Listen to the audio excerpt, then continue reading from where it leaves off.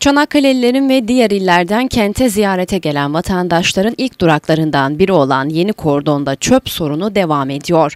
Akşam saatlerinde büyük yoğunluğun yaşandığı kordonda yerler adeta çöp ve izmaritlerle dolmuş durumda.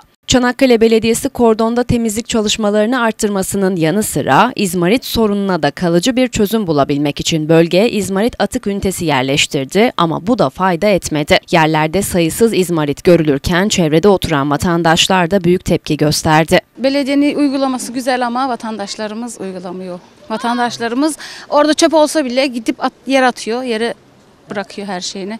İnsanımız temiz değil.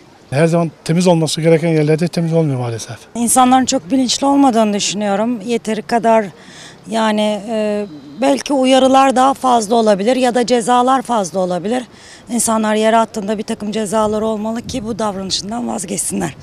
Yani herkes birbirini uyarmaya katı uyarsın diyeceğim ama kavga sebebi oluyor artık. Yapacak bir şey yok. Herkes kendisi medenileşecek.